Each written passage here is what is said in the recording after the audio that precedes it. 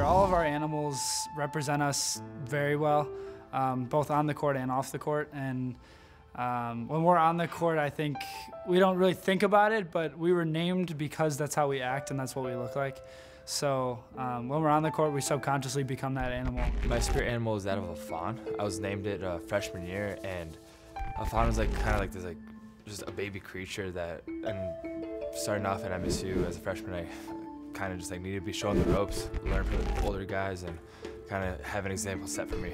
I'm the mongoose. Uh, I'm really twitchy, so like I look around like this all the time. I, my head's always on a swivel. Uh, my spirit animal is the sheep, and uh, I, I, think I got that one uh, uh because the uh, older guys on the team that year, they really enjoyed going up. Billy. So I think that was the uh, driving force behind that one. My spirit animal is a water buffalo, and so I got that name because not only am I kind of big, pretty big man, but I sweat way too much, just buckets and buckets and buckets.